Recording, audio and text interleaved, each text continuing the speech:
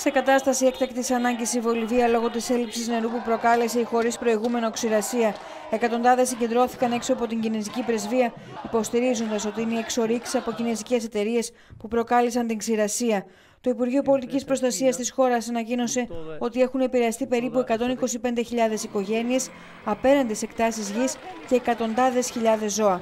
Κυρίζοντα τη χώρα σε κατάσταση έκτακτης ανάγκης, η κυβέρνηση εκταμείευσε και τα απαραίτητα κονδύλια για την αντιμετώπιση της κατάστασης.